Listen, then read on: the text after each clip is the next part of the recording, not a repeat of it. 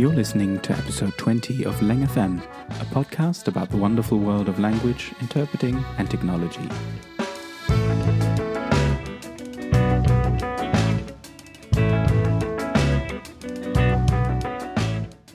My guest today is Linda Saukko-Rauta, a sketchnoter based in Jyväskylä, Finland.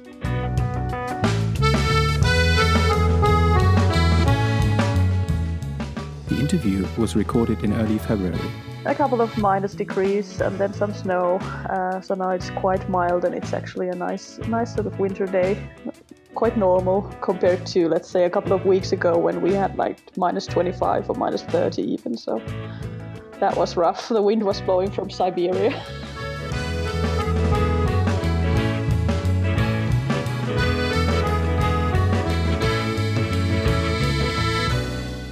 Up in the north, Linda started out as a language teacher. So actually, my major is Swedish. So I used to teach more Swedish than, than English. And, and then also I, I taught Finnish for our foreign students. and then became an e learning designer.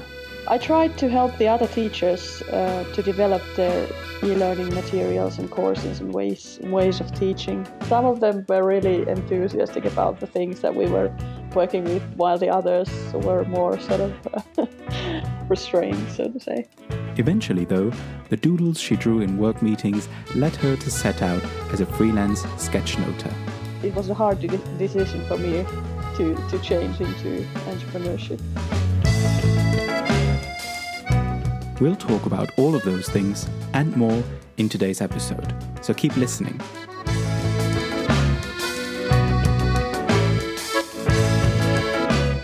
And you, you told me your languages are um, Finnish, English, and Swedish. Did, did you learn Swedish as a child already? Is, is that part of the school education? No, I just picked up it in the, in school. So um, Finnish is my native tongue, and then at the age of nine, I started learning English, and then at the age of thirteen, Swedish, and then after um, senior high school, gymnasium.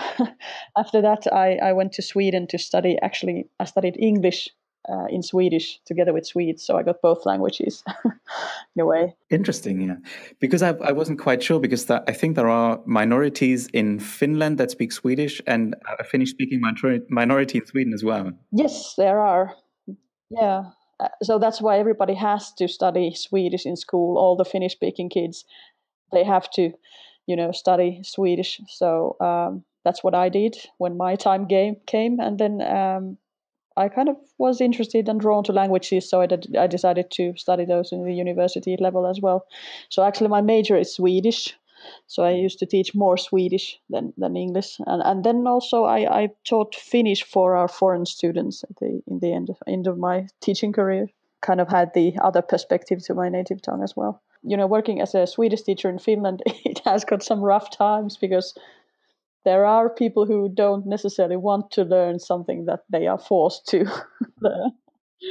So uh, it, it it was a bit rough at times. So I got bored with it and then wanted some change and then then started that position as an as an e-learning designer which was fun Yeah, because we had the same thing with Russian before the political change in 1990. Everybody had to learn Russian, and it must have been very difficult for the Russian teachers to get people, you know, enthusiastic about learning Russian. And uh, of course, all, everybody forgot everything once they didn't have to learn Russian anymore. So yeah and then there are some freaks who you know like the language exactly, yeah. No i don't know why is that why that is with the swedish i mean it, it hasn't been always like this i mean people used to like it but i guess it it was in the in the sort of the late 1970s when they made it you know obligatory and and then you know back in the 1990s probably it started out so that people people kind of didn't just want to do it anymore. There are studies that show that some like it a lot, and then there are studies who show that, well, except like boys at the age of 14, they don't appreciate it that much. Yeah, but the reason why we're having this this conversa- conversation is that I'm I'm really interested in in what you're doing and what you're doing is sketchnoting, and we're going to talk a little bit about what that what sketchnoting is. Um, I, I learned about it for the first time, I think, a couple of years ago um, on the internet and, and seeing people doing sketch notes for conferences and that, that kind of thing.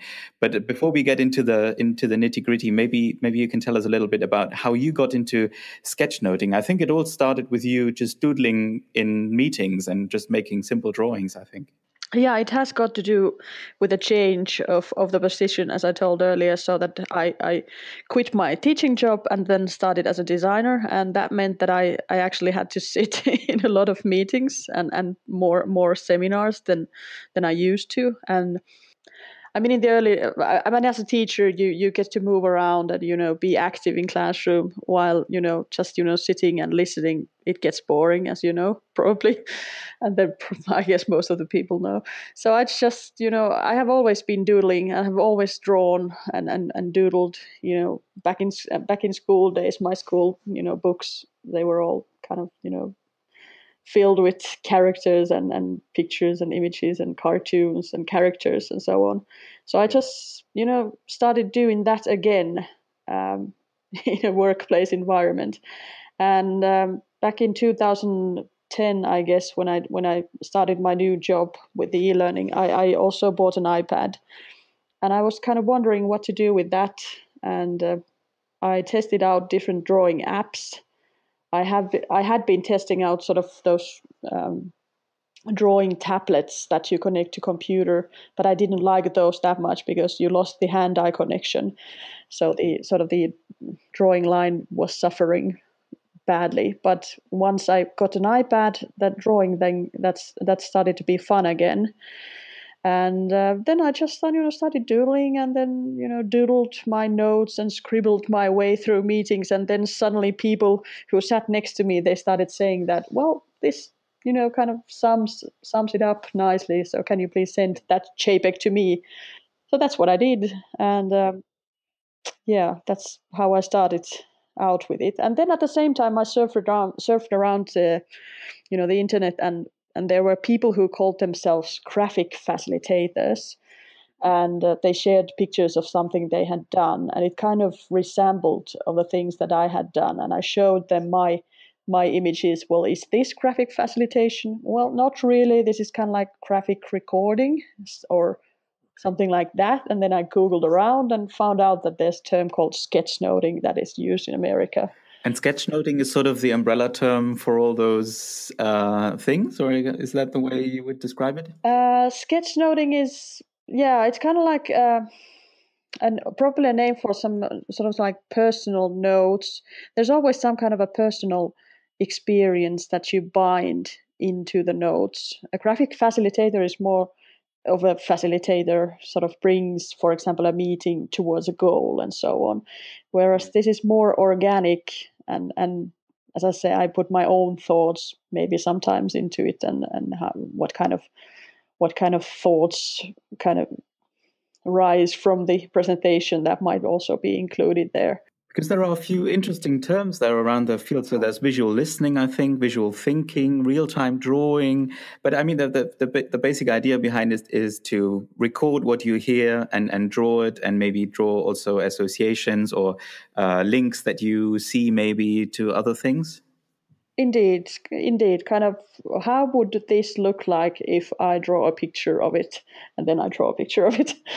Um, yeah, that's the thing but it must have it must have been nice back then when you when you did all those drawings and then you finally discovered that there's a whole community out there and, and other people who do more or less the same thing or that do similar things. Yeah yeah. What i've understood it started out back in the 1960s uh, somewhere in you know san francisco area where a bunch of hippies thought it would be you know useful for you know some kind of a new way of learning um, sort of visual visual thinking as an aid for education and then it has spread around. And uh, I guess in the recent years in Europe, I think the Danish have, have been quite active with this, and then probably the Dutch as well. And then, of course, some some in London, in, in Great Britain, I think there are also active doodlers. And then now also, I think Finland is is also kind of we have a small community in a way of people who do this uh, a couple of that I know in Sweden as well. But yeah. Mm. And how did that happen for you? I mean, how did it develop from a hobby into something that you do more or less professionally, basically? Mm. Uh, it actually started out with, you know, some basic comic strips. Um, my life as a Swedish teacher was very dull and very, you know, filled with anxiety. So I started out doing cartoons of that mundane life as a Swedish teacher in Finland, um, and I I shared my cartoons via my blog, and then I got a couple of requests, offer requests, um, and uh, and I actually had my company running already um, because of that, because I needed to, you know, be able to send bills to those customers, those early customers. But I also knew that I couldn't make a living out of it because I'm I'm not that good of a, you know, I don't have that good of a drawing technique when it when it comes to, you know, cart making cartoons. But anyway, it was fun and. Uh, it was just basically a couple of accidents that got me into business. Um, it was I guess the biggest accident was was back in nine uh, in 2011 when um, when the Nordic Business Forum, the sort of the biggest business event seminar in in Finland or in Northern Europe, they they had the seminar in Jyväskylä here, and um, they had Al Gore. They brought Al Gore to to Finland. Those sort of young young guys, like uh, under thirty, kind of like twenty five or something. One day, this this uh, Hans Peter, he actually just, you know, phoned Al Gore's office. So, can you come to Finland? Oh, sure. Basically, that was a story. But anyway, hard work, but it's a nice story. And and anyway, they organized this huge business seminar in Jyväskylä, something that was kind of never seen here. And um, the students of our, our university, they were actually working there at the seminar as volunteers. And they also asked us teachers and staff, could you be able to you know join our staff as a volunteer. And i actually volunteered for for some driving action action. I uh, i you know i was you know ready to be a chauffeur for some vip guests you know. I was like yeah hybrid toyota why not? And um, then we had some training for the position. So i drew sketch notes in that training session and then i um, shared those notes together with my other driving colleagues and then the organizers they asked me they saw the sketch notes and they asked what if your volunteering job would be to sit in the front row and you know just doodle all the presentations? Sure happy. So the first time i did i was sort of volunteering for that one and then i shared the you know the sketch notes in my blog and then tweeted about it and uh, next week or a week after that seminar, then the so the business people started phoning me. Do you do this? Do you do this for a living? Do you do this, you know, for companies? Can we pay you to do this? yeah, I had my company running already, so so I was like, yeah, sure, why not? Okay, cool. So since then, basically, I have done it, you know, as a side business. Uh, but then a couple of kids and a couple of maternity leaves, you know, the Nordic system, long maternity leaves. So I had my calendar, you know, free. Uh, so then I was able to, you know, run it as a whole time business, which I do nowadays. I'm I'm wondering, are you nervous at all when you get to? I mean, when you go to the conference and they pay you to record the sessions or to to draw those sketch notes, are you nervous at all that you're going to miss something? Uh, are you ever nervous that you're going to, you know, understand something maybe in a different way, that kind of thing? I'm I'm, I'm asking this from an interpreter's perspective, so that's why that's why the question comes up.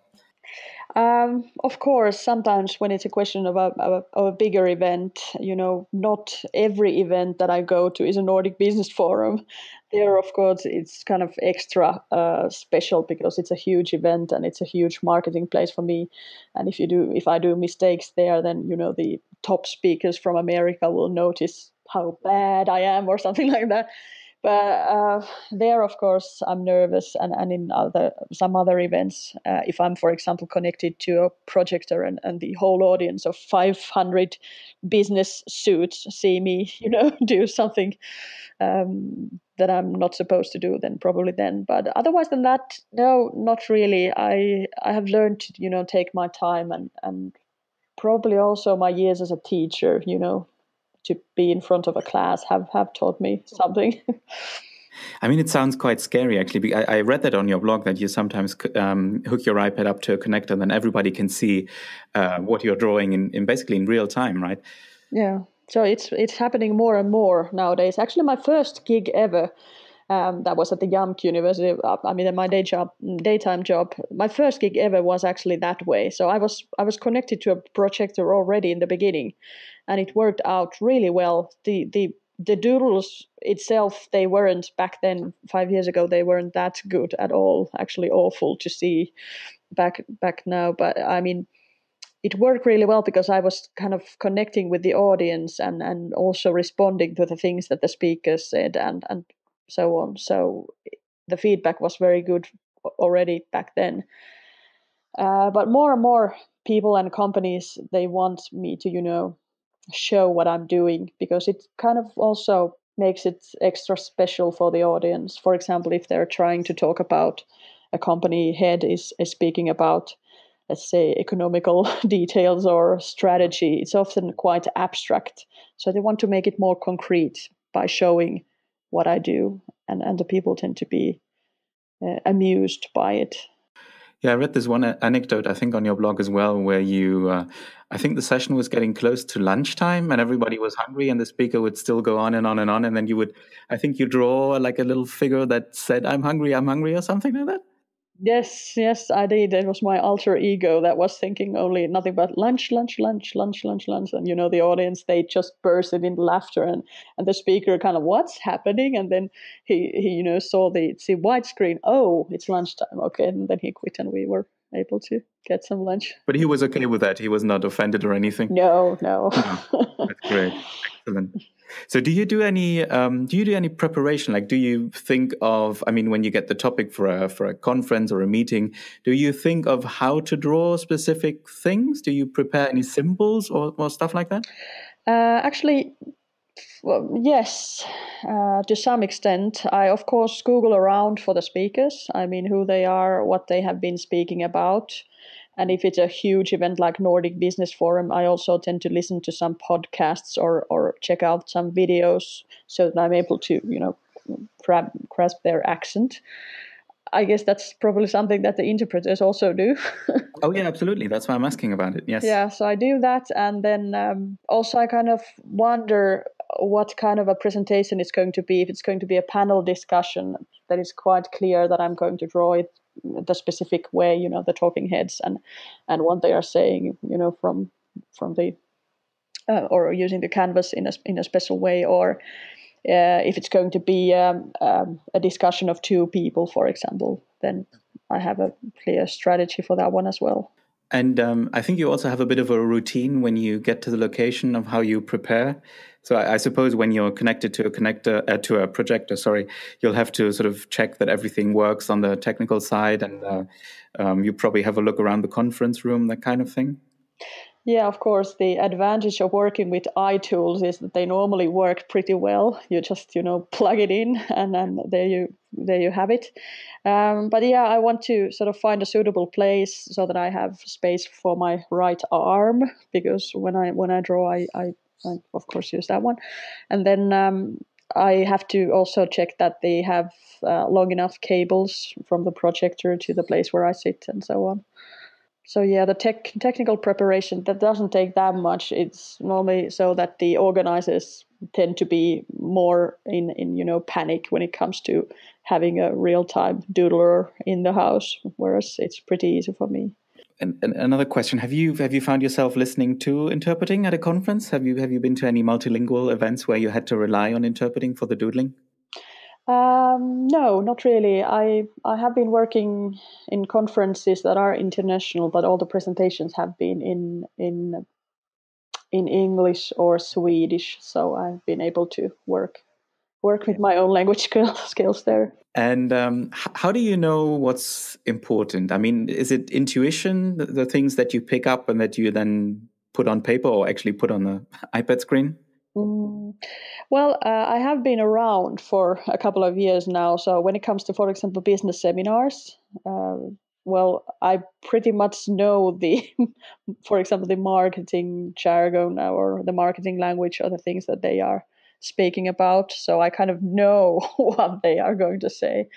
Um, but also when it comes to people and you know people giving presentations, pretty often um, they they say the most important things, you know, in the beginning of of the sentence or in the beginning of a you know some bigger chunk of information.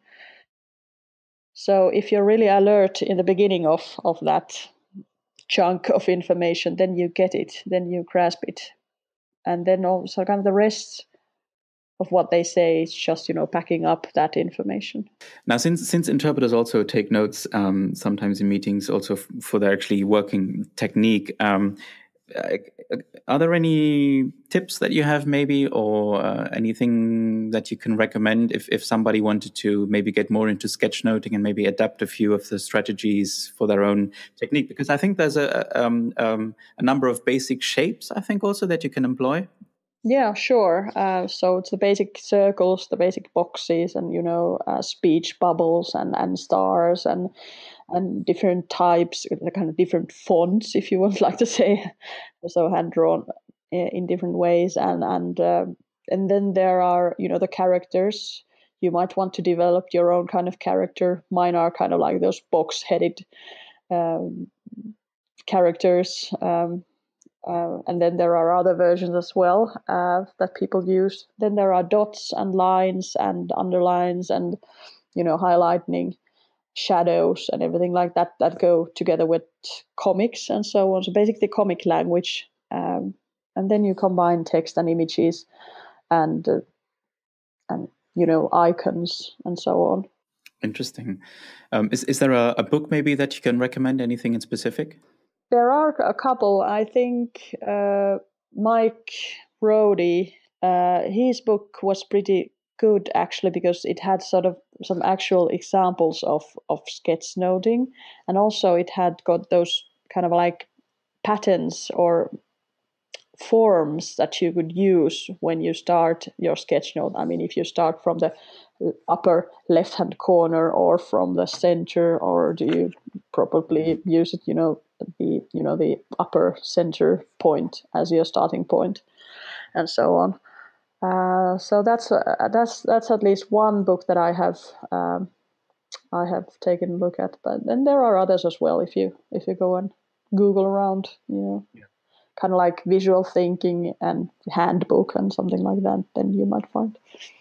But I think the Mike Rohde book really is very good. I had a look at that and it seemed very interesting, even for someone like me who would say, I have no idea how to draw, but I think that's something that uh, you really have to get over yourself in a way and just start doing it and, and just practicing. I and think. he was kind of the first ones to use the term sketchnoting, I think, out there in the internet. And, and he was, you know, happy to share uh, other people's work as well. So, so some of my work um, is also being shared and, and covered in his blog and so on. So, I think he was also one of the main kind of um, people that got me also into sketchnoting in a way.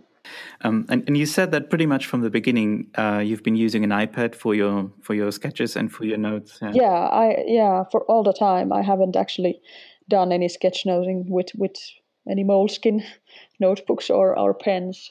Of course, back in school days, my, my notes were probably that way, but no, not not as an adult. No. So, can you tell us a little bit about um, the the applications that you that you use? Do you have any uh, preferred apps, or or maybe also styluses, if you can speak to that? Yeah. Uh, well, my iPad is just a normal iPad Air two. Um, and then the app that I use for drawing is still nowadays uh, Adobe ideas, which I have been using all these years. I have tested out other tools as well, and I have to change my my drawing tool from ideas to something other pretty soon because they are not developing developing it anymore. They are not uh, updating it anymore. Um, instead, they have this Adobe Draw, which is a free app that you can download and uh, start using, but it's not that good. It lacks some features that the ideas has and also the i don't like the zoom in it. The zoom feeling is, is different compared to ideas and it's not that smooth. Uh, it's sticky. And you know when you're drawing fast in a seminar real time live dueling it it just gets you know in me into trouble if I use that one. But I have to make that change pretty soon. okay, yeah, it's difficult if been if you've been using that uh, specific application all those years. It is. It's very difficult, uh, and I know that I'm getting into trouble. But I, I mean, I should do it. Uh, so those, and then the stylus pen that I'm using is just a regular soft tip st- bamboo stylus, bamboo solo. Yeah, yeah, those those tend to be recommended a lot. Yeah, they're pretty good, I think. Yeah, I've been testing around different styluses throughout the years. Uh, so, but I just you know haven't found any better one. I use um, one with a hard tip for when when I create animated videos. I, I use a uh, it's an Adonit Jot Pro with a hard tip. That's that I use nowadays for for the video activities. But you know, real time dueling I do with Bamboo Solo.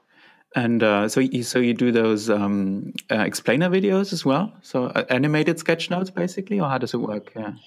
Um, in a way, yeah, yeah. So I draw, and then uh, my drawing is is is taped on video, and then we uh, make it go faster and edit it and add sounds and boom, we've got an animated video. Interesting. Yeah, I really like those, and uh, they're interesting to watch because you can sort of see the the whole process and and how the how the sketches and notes take shape. I, I really like those videos. Yeah. yeah. So there aren't actually that many who do those, at least not in Finland. So mm-hmm. so we are kind of trying to hit to market with our little videos. Excellent. Yeah. Have you checked out the new iPad Pro and the stylus from Apple? Uh, yes, I watched the launch and I actually drew sketch notes while watching it. Um, just this week, I actually held one in my hand and kind of felt out what, what, what the weight was and so on. And it's huge, actually, the iPad Pro. It it feels pretty huge in my hand, so I'm I, I guess I'm not going to buy one for the real time live purposes when I'm away in seminars because there it would be just too big. But I guess I have to buy it for the video purposes because there, um, you know, the more surface you got, then the better it gets. Yeah, it's a bigger canvas, right? Yeah, hmm. in a way, yeah. I just found the stylus to be very, very good, and uh, because the the problem that I had with the traditional styluses was that you can't really put your hand on the screen, because then you get all the smudges, and that wasn't really an issue with uh, with the Apple Pencil. So that I really liked. Uh, I haven't tried out that one, and I've heard that if you if you want to buy one, then you have to line up for it for for six months or so before you get one. So, it can take a while, yeah. yeah, so I haven't really had my chance yet. Uh, would be fun to test out really. And then when you when you're done with your work um, you, you um, well either you're connected to the projector or you would then send your sketches to to the organizers and they use it for their conference material or for their brochures or? Yeah i actually i actually already beforehand before the seminar starts i already send a, a dropbox link to my customers to the seminar organizers. And uh, during the seminar during the event i I upload uh, my images uh, into the Dropbox, so they're able to you know go and get them uh, already when the seminar is happening, so they're able to use them right away as you know marketing aid and so on, marketing material. Um, and that's what they do. Pretty often they do that. So they go and and you know take the image there and tweet it out and use it in their blog and so on. Uh, in Nordic Business Forum, I actually have access to their blog, so what I do is that after each presentation, I directly upload the sketch note into their blog. Uh, so it's kind of instant thing, and then they tweet about it. Then, yeah, very interesting uh, indeed. And you also share uh, quite a bit of your material on your blog. I think you have a, a portfolio blog, and also on Twitter yeah it's it's a messy portfolio but it's a nice blog i guess uh, yeah more and more of my customers want want me actually to share the work that i do of course some strateg- strategic doodling that's something that the companies don't want to share but but you know quite often they want me to share uh, the things that i've done for them also probably because you know you know social media and that stuff they, they want you know the basic there. It's good content, I guess, from their perspective. I guess, hmm. yeah. Uh, it makes people, you know, people want to people want to take another look at it, you know, probably because of the details and so on. And uh, it has got sort of many sides to it when it comes to, for example, real time live doodlers. So, there's, for example, the audience who are present, so they get they get sort of a special moment while they watch how the how the image is is is done and also they remember then back after the seminar they remember remember in a better way what was spoken about. Uh, the speakers they like the images a lot because then they can see if their message is you know if it's come true uh, if people have understood it. Yeah i hadn't thought about that but it's a good point yes. Yeah they really love it you know and also they are quite often um, sort of a me me me person. So they kind of they love the idea of seeing their own words, you know, as an image. Yeah, for for posterity and eternity. Yeah, yeah, yeah. So they quite, you know, they quite, they they really want to share, you know, always, and they want to use it, and they want there for their own purposes. And quite often, you see after a seminar, uh, a speaker has changed their cover photo, for example, into a sketch note. Uh, so the speakers like it, and then the organizers like it because they get marketing material, they get you know instant visibility in social media also during the during the uh, event, and uh, yeah, basically there are, as I said, many sides to it, and then also people who are not attending the seminar. Um, if they're checking out, for example, the Twitter feed from the distance, they also get an overall image of what has been uh, i mean what has been presented or what you know what the seminar is all about. So they also like my doodlings. I'm happy to share them. And i'm actually happy if they use the material because every gig that i do is also marketing for myself.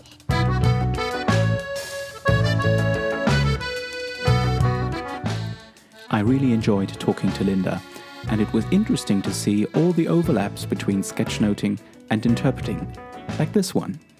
It's hard to explain them what I do. It's hard to you know speak about it what I do, and probably there are people who listen to this and they don't have a clue about what we're talking about. Uh, because it's hard to explain. But once people see it, once people see me in action and doing it, then they sort of get it and kind of like, wow, is that something that you do for a living? Yeah. At some point, Linda even tried interpreting herself. I actually tried out some interpreting back in, in my studying years. Um, I, I took a course. Uh, I I tried out that one, Swedish Finnish, and it was very difficult, and I couldn't do the simultaneous. I'm able to do it image-wise. I, I just draw what I hear. While she did go with sketchnoting in the end, she still likes to keep in touch with interpreters. For example, in, in Nordic Business Forum, where, where they have the you know the interpreters sitting in their booths, uh, we actually bond because we kind of we're actually kind of doing the, same thing. It's, it's like interpreting.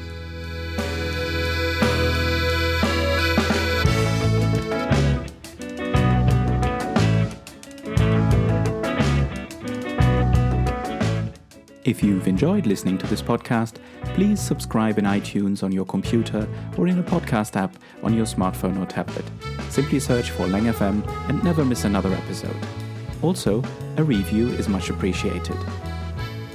Thanks for listening and talk to you next time.